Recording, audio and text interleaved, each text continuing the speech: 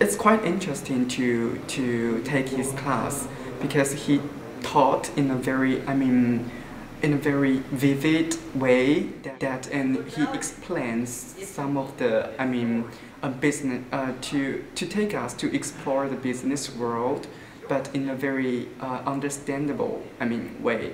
And also teach us how to use a Bloomberg terminal. Mm, and that's quite hands-on so I think uh, and also he mm, provoke us to to I mean uh, to thinking uh, what he called creative thinking, and that's what I think is quite important for us as a journalist. I really like the Bloomberg terminal because um, I just said that my primary major is finance. So um, before I come to Tsinghua, I have heard of the Bloomberg terminal terminals, but I never see them. When I um, joined in join in this program here and I opened the door and I found there are some terminals just on the tables. I'm really excited because um, I know this terminal has very strong functions, especially for the business journalism.